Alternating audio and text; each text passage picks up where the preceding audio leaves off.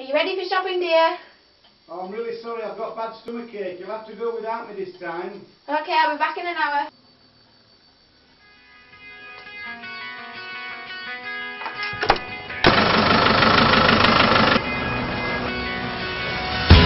Here you go,